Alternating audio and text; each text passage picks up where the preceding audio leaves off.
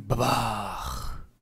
Всем привет, дорогие друзья, и я, как всегда, рад приветствовать вас на своем канале. Сегодня мы вновь поговорим о мафии, но немного в ином ключе. Я решил рассказать вам о интересных фактах, связанных с первой и второй мафией. На ютубе очень много роликов о секретах, пасхалках и так далее, но я хочу сделать немного другое видео. Дело в том, что я вижу разницу между пасхалками и интересными фактами. И это видео именно про факты. Мы поговорим о фактах из разработки первых двух частей, о интересных подробностях создания игр, затронем озвучку и, конечно, различные сюжетные интересности этих игр. Я постарался рассказать о том, о чем вы могли не знать, поэтому посмотрите видео до конца, я уверен, что каждый сможет узнать что-то новенькое далее. В общем, не буду затягивать, наводите чаек, кофеек, присаживайтесь поудобнее и приятного вам просмотра. Начинаем!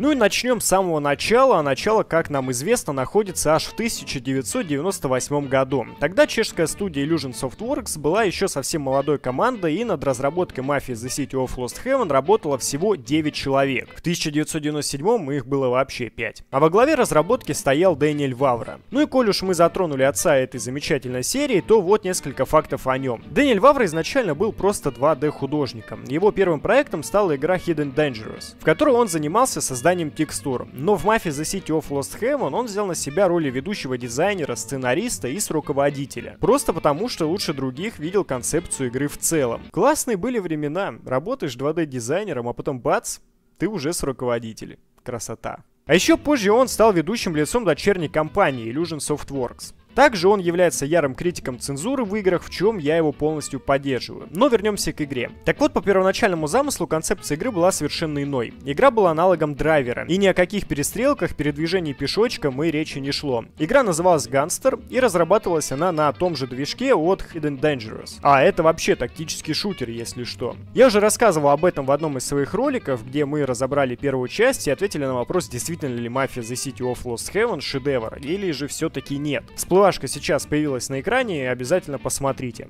Но затем к разработке присоединились еще несколько человек, и было решено кардинально переделать игру и, соответственно, перенести ее на новый движок. Вот так вот.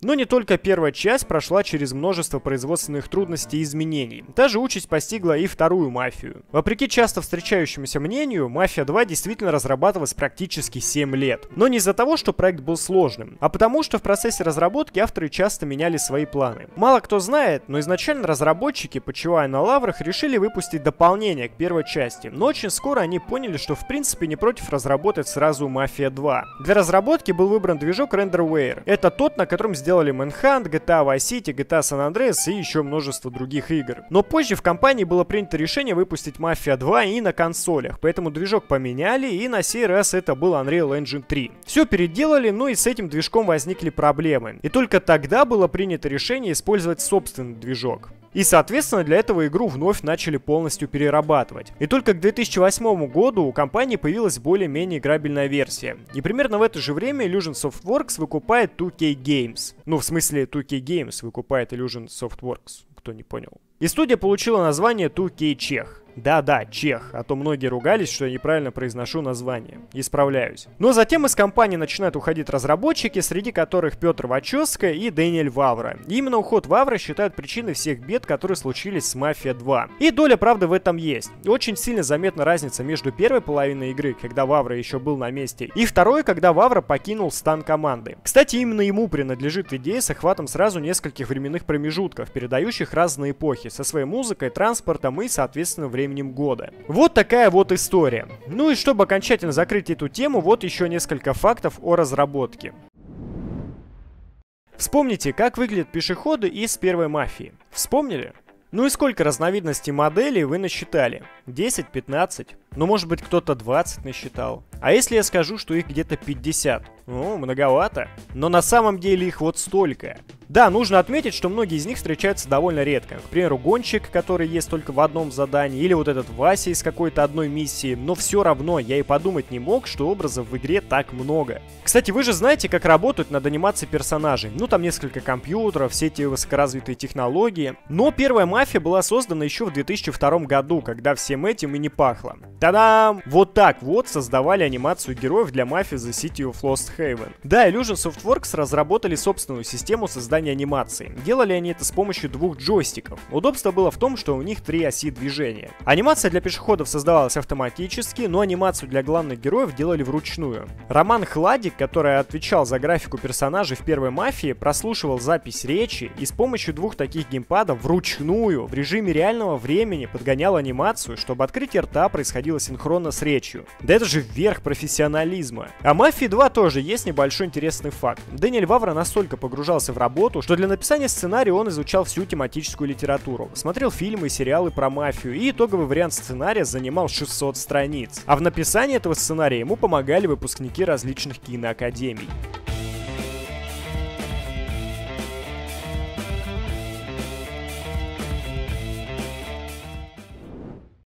С локализацией тут вообще веселуха. Что в Мафии 1, что в Мафии 2. На зарубежных форумах люди диву даются, мол, представляете, некоторые актеры озвучивали по две роли сразу. Это, в частности, говорится про вторую часть. Но эти дети даже не представляют, что такое русский дубляж. Алексей Колган озвучил Фрэнка, детектива Нормана, Луиджи, Ральфа, Винченца, Морелла, несколько эпизодических персонажей и инструктора из обучения. Да это половина игры. И еще один забавный факт, связанный с актерами дубляжа. Но он содержит небольшой спойлер для тех, кто не играл играл в первую часть, поэтому если такие присутствуют, то тайм-код, на который вам нужно перемотать, сейчас на экране. Никита Семенов-Прозоровский озвучил в «Мафия 2» Джо Барбара, но это была не единственная его роль. Вторая состояла всего из одной фразы. Э, да? Да, именно он озвучил Томаса Анджела из первой игры. Кстати, Лео Галанта озвучил Алексей Викторович Михайлов. И мне одному кажется, что это один и тот же человек. Да Лео Галанты будто срисовали с этого актера. Но помимо дубляжа в локализации обеих частей все далеко не гладко. К примеру, обрез дробовика, который называется Лупара. Но если хочешь, есть еще обрез. На Сицилии их называют Лупара. В ранних версиях перевели как «лупала», но в версии 1.3 это исправили. В миссии «Святой Отец» 1С вообще решили, что реплика «Это ублюдок, который убил Билли! Взять его!» вообще недостойна перевода. Или как вам такое? Ты не мог бы поискать их? Ладно, я это сделаю, Том. Подожди меня здесь. Я это сделаю том? Может, это, конечно, замысел повествования, что главный герой обращается сам к себе, но объяснений я этому не нахожу. Следующий косячок встречается при прохождении миссии, где мы крадем сигары. 1С почему-то неправильно перевели фразу «поле», а именно... На этих грузовиках такие надписи «Атлантический импорт». На самом деле на грузовиках написано не импорт, а экспорт, что имеет абсолютно противоположный смысл. И вот еще один забавный момент. В миссии «Визит к толстосумам» после вскрытия сейфа Сальваторе говорит Похоже, нам срочно надо смываться с Готово, шеф, как два пальца. На самом деле в английской локализации фраза звучит иначе. Piece of cake. Piece of cake.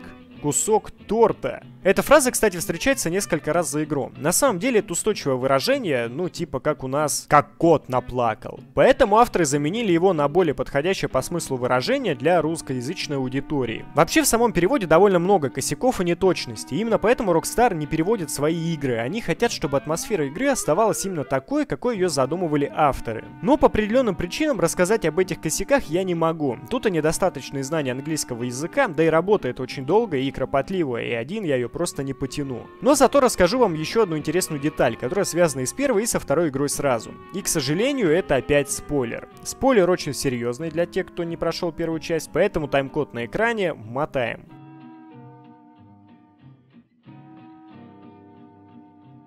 Связан этот косяк с переводом самой последней фразы в игре. Мистер Анджело,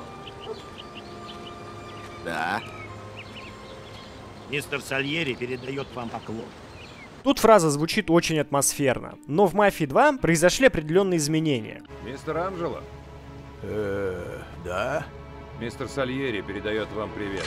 Вита вместо «передает поклон» говорит «передает привет», что, на мой взгляд, очень сильно портит сцену. Я понимаю, что вся эта тема слишком романтизирована, и реальные гангстеры, скорее всего, разговаривали не так красиво. Более того, атмосфера второй части немного другая, в которой более простецкая подача имеет место быть. Но согласитесь, первую часть мы и любим за это. Все эти мужики в пальто и шляпах, обрезы и Томпсоны, речь. Все это создает нужную атмосферу, и коль уж Мафия 2 делает отсылку на первую игру, то тут хотелось бы не терять эту самую атмосферу. Но вот как по мне, так переделанная фраза немного режет слух. Но не будем углубляться. Мафия 2 в плане локализации вообще феномен. Ее засрали так, что ни словами сказать, ни пером описать. В оригинальной озвучке слово «фак» встречается 397 раз.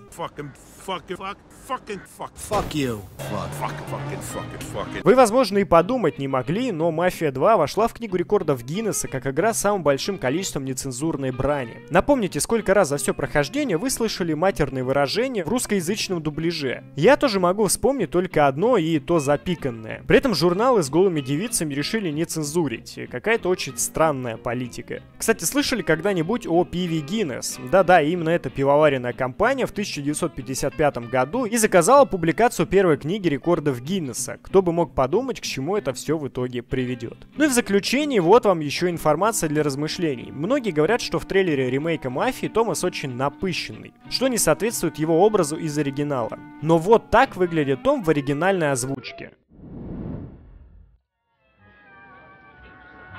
That's how I got into it. One minute a regular cabbie, the next a respected mafioso. You were all right with killing people? Usually people have a problem with that. You know, I ain't one of those people with a thirst for blood. I don't need violence in my life, and I don't look for trouble, but I also don't have any remorse.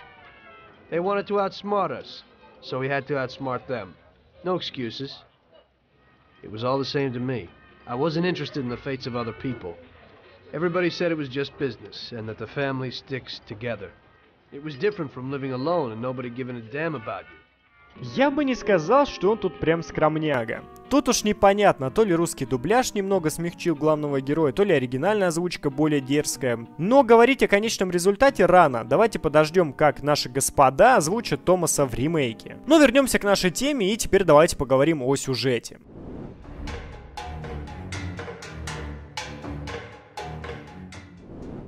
По логике, эту часть видео я должен был ставить перед локализацией, но на мой взгляд это самая сладкая тема, поэтому я оставил ее напоследок. Более того, поиск фактов и сюжета стал самой сложной и при этом самой интересной задачей, потому что, как я и сказал, нужно понимать разницу между отсылками и пасхалками и различными интересными фактами. Первые уже давно всеми найдены и всем известны, но вот найти интересные для вас факты это задачка непростая, но я все-таки постарался это сделать. Да, информации тут не так много, но я надеюсь, что она вам понравится. В общем, я не буду буду затягивать, давайте приступим. Многие думают, что первую и вторую часть связывает только одна миссия — лестница в небо. И упоминание Лео Галанты города Lost Heaven из первой части. Я исчезну, и пусть все идет своим чередом. Сяду на первый же поезд в Lost Heaven. Но это далеко не так. Сейчас мы разберем несколько любопытных тем и фактов, которые переплетутся воедино.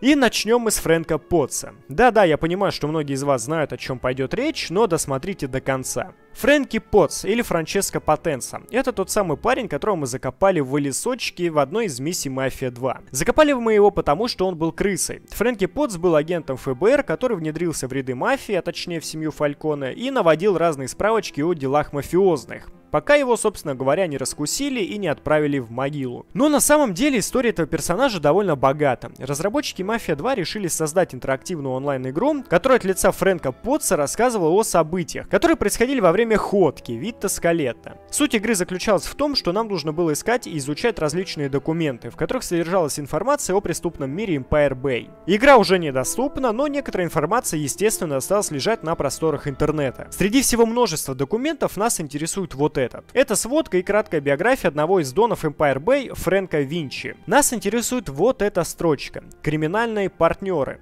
И что мы тут видим? О да, Дон Сальери. Дон Сальери являлся хорошим знакомым товарищу Фрэнку Винчи. Вообще, как вы понимаете, вся эта история с Потсом очень интересная. Но все ютуберы, которые затрагивают эту тему, просто пересказывают содержимое одной и той же статьи с кратким пересказом. Ну, знаете, неделя первая, 1950 год. Директор ФБР Джон Эдгар Гувер до сих пор уверен, что организованной преступности не существует. Чтобы выяснить реальное положение дел, было решено задействовать агента под прикрытием Фрэнка Потса неделя вторая и так далее. Неделя вторая. Идут праздники, но Фрэнк работает. Через посредника Фрэнк вливается в доверие с местными автоугонщиками в баре Фредди. Он обнаружил кровью окрашенный в бордовый бумажник, некогда принадлежавший убитому Сильвио. Клименте зол и знает о краже, но на удивление в пропаже вещей его подозрения пали не на Фальконе, а на Фрэнка Винчи, при этом они полностью игнорируют документы, в которых огромное количество интересной информации. Возможно, причиной этому служит то, что большинство статей, в которых авторы прошли историю до конца, англоязычные, и переводить их всем в падлу. Может быть, есть и другие причины, я не знаю, но никто до сих пор не сделал нормальный разбор этой истории. Короче, походу, пора отцу брать все в свои руки и делать нормальный обзор. В общем, пишите в комментариях, если эта тема вам интересна, я ей обязательно займусь. Ну и вот вам еще один забавный факт. Модель Фрэнка также использовалась и для создания модели заправщиков. Ладно, возвращаемся к нашей теме, и как мы выяснили из досье, Сальери и Винчи хорошие друзья. Что еще есть интересного о Винчи? Его фамилия взята у известного итальянского художника Леонардо да Винчи, автора знаменитой картины «Мона Лиза». И, как нам известно, Фрэнку Винчи принадлежит бар «Мона Лиза». Маленький, но забавный факт. Но это, естественно, не все. Винчи очень редко встречается в «Мафии 2». Там этого персонажа практически не раскрывают. Но, слышали ли вы когда-нибудь о «Мафия 2 Mobile»? Да, это игра для мобильных телефонов на платформе Java. Java, Java, Java разработана студией Twistbox Entertainment и выпущена в сентябре 2010 года. Действие игры разворачивается в 1938 году, а главным героем является Марко Руссетто. Так вот, в этой игре главным антагонистом является как раз Франко Винчи. Если что, это Фрэнк Винчи, просто зовут его Франко Винчи, а Фрэнк это его погоняло. И да, стоит сказать, что игра не является каноном, то есть не факт, что ее можно связать с сюжетной линией оригинальной мафии. Как бы то ни было, события в игре уж больно интересные, поэтому я про них расскажу. Так вот, как мы уже знаем, главным антагонистом в игре является Винчи, а главным героем Марко Руссетто. Кто же такой этот Марко Руссетто? Спасибо, Инченцо. Не потеряйте биту, это моего племянника. Заметано. Зачем я показал вам этот фрагмент из игры, спросите вы? Сейчас расскажу. Но расскажу я только для тех, кто не боится спойлеров или кто проходил первую часть. Да, друзья, к сожалению, здесь опять спойлер, я тайм-код укажу, как всегда, на экране. Поэтому поскорее уже проходите первую игру и возвращайтесь сюда. Давайте обратимся к одному очень любопытному документу. Это семейное древо организованной преступности, начиная с семьи Пепона и заканчивая Маркану. Смотрим вот сюда. Марко Руссетта. Именно он является племянником Винченцо. Об этом говорится и в самой игре. Действие игры разворачивается между первой и второй частью, а место действия начинается в Лос Хевен и постепенно перетекает в Empire Bay. Почему? Вы не поверите, но нашей главной задачей является убийство Томаса Анджело. Однако с этим заданием мы не справимся, но именно от Винчи мы узнаем, где находится Том. Вот такие пироги. Ну и давайте я вам быстренько расскажу еще несколько фактов о Сальери. Имя Сальери можно узнать только во второй части, на одном из загрузочных экранов. А создано оно путем сочетания имен двух итальянских композиторов. Антонио Сальери и Энио Мариконе. Кстати, помните, я говорил про древо? Я напоминаю, что это древо создавали сами Ангар-13. Обратите внимание, Сальери, Винченцо и его племянник по состоянию на 1968 год еще живы и отбывают свой срок. Возможно, именно поэтому в ремейке Сальери и выглядит моложе, чтобы в 1968 ему за сотку не перевалило, а то как-то не очень. Ох, как бы было интересно, если бы эта тема получила продолжение в «Мафия 4».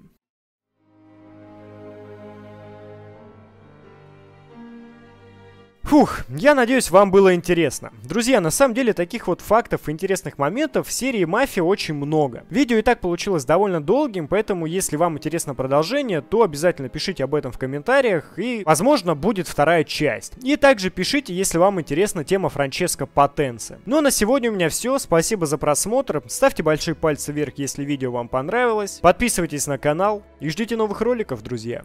Всем пока!